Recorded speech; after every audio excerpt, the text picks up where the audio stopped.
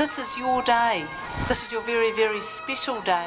When you succeed, the city succeeds. I'm the Mayor, Julie Hardaker, and I am very, very pleased to welcome all of you.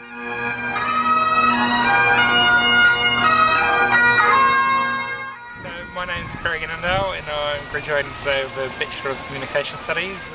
I majored in Marketing and HR. So my name's Charlene Christie and I'm graduating with a Bachelor of uh, Business Management, majoring in Marketing and Tourism. I'm Kelly and I'm graduating with a BBA. Hi, my name's Keegan Milford and I'm graduating with a Bachelor of Management Studies from the Waikato Uni.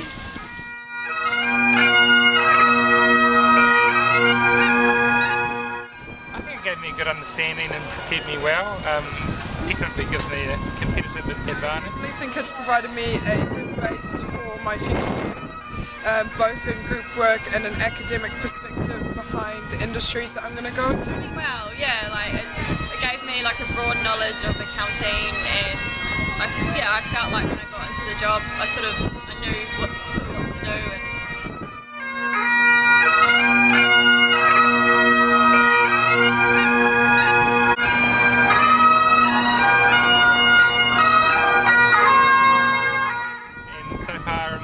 Yes, I'm currently working as the graduate management trainee in one of the five-star hotels up in Auckland. working as a, an assistant accountant for an IT company. Working for Energy Mad as a team leader of the North Island.